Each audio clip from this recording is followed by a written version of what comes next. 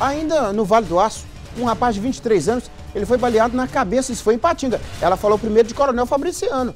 Você não confunde, não é outro caso. A vítima foi socorrida e encaminhada ao hospital Márcio Cunha. Você vai falar desse caso, por favor.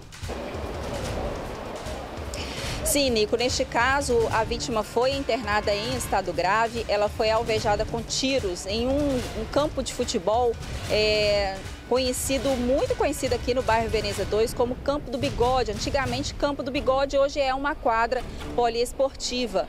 E também testemunhas, não, pessoas não quiseram falar o que aconteceu, como que essa vítima foi baleada. A própria vítima, quando estava sendo atendida pela, pelo socorro e também pelos militares, estava consciente, mesmo tendo sido alvejada com disparos de armas de fogo na cabeça, ela também não quis falar para a polícia quem seriam os autores deste atentado. A vítima foi encaminhada para o hospital de Ipatinga, aqui de Ipatinga. Só que durante os rastreamento, o rastreamento, a polícia recebeu várias informações. Olha só, que uma mulher de 33 anos e um homem de 36 anos estariam com uma rixa, um desentendimento com esta vítima por causa de uma dívida de 40 reais. As buscas foram feitas na residência destes suspeitos, eles estão sendo procurados pela polícia. Nico.